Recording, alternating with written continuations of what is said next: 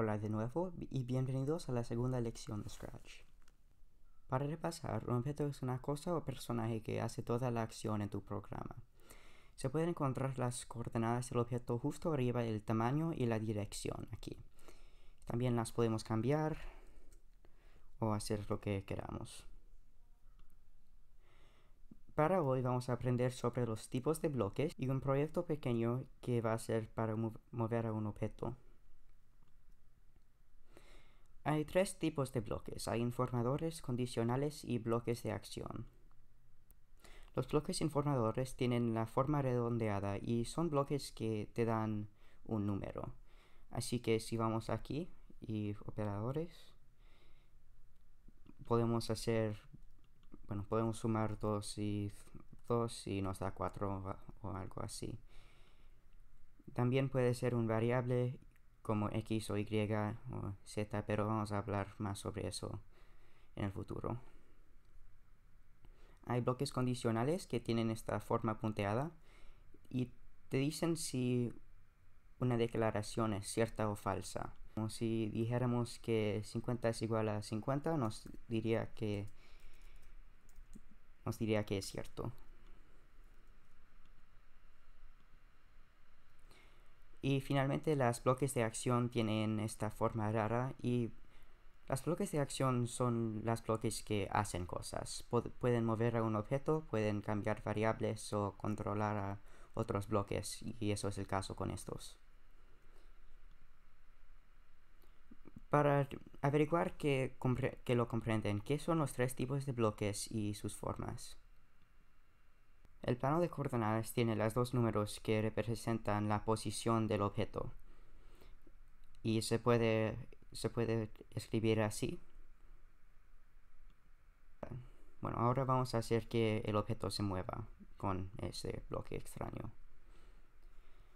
Primero vamos a usar este bloque de mover 10 pasos. Lo mueve un poquito, pero queremos que se mueva más. Así que si lo subimos a 100, podemos hacer eso. Pero hay problemas con eso. Primero, queremos que el gato mueva más. Segundo, mueve instantáneamente. No queremos eso. Así que para hacer que se mueva más naturalmente, vamos a usar estos bloques de control aquí. En este hacer que se mueva 100 pasos, podemos hacer que se mueva 10 pasos 10 veces. Vamos a usar esto y poner el bloque de acción dentro. Este bloque amarillo aquí va a repetir lo que está dentro 10 veces. Si pusiéramos otra cosa como girar 15 grados, podríamos hacer, haría todo esto. Iría 10 pasos, luego giraría 15 grados y lo, haría todo eso 10 veces.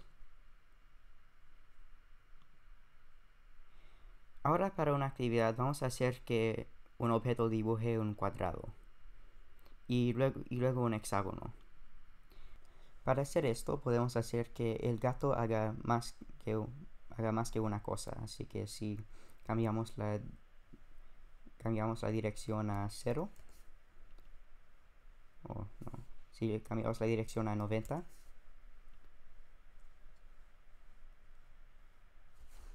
podemos hacer que el gato mueva 100 pasos y luego gire. En un cuadrado, los cuatro ángulos tienen un, los cuatro ángulos tienen 90 grados. Así que si cambiamos esto a 90, vamos a hacer que el gato mueva 100 pasos y gire 90 grados. Esto va a ser, esto va a ser un lado. Así que si lo repitamos cuatro veces, por hacer esto, va a ser, bueno, lo va a hacer cuatro veces. Pero es, sería mejor si usáramos el bloque de repetir. Porque podemos poner bloques de repetir dentro de bloques de repetir. Por ejemplo, si hacemos esto cuatro veces, hace un cuadrado. Pero para hacer que actualmente haga un cuadrado, vamos a hacer clic en este botón y elegir la extensión del lápiz.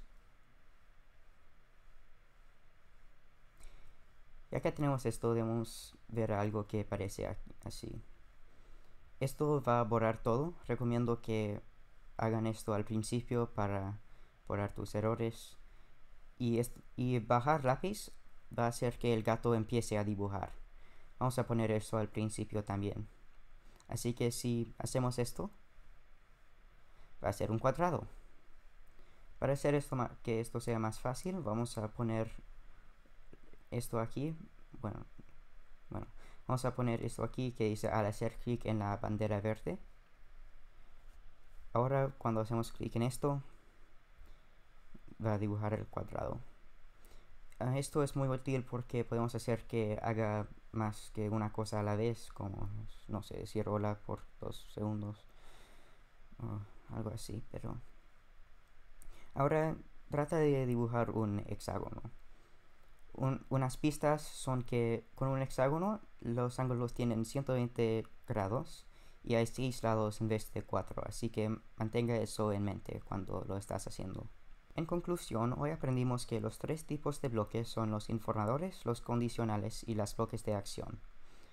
También aprendimos cómo identificar las coordenadas de un objeto y, y cómo hacer que un objeto se mueva. Muchas gracias y hasta la próxima vez.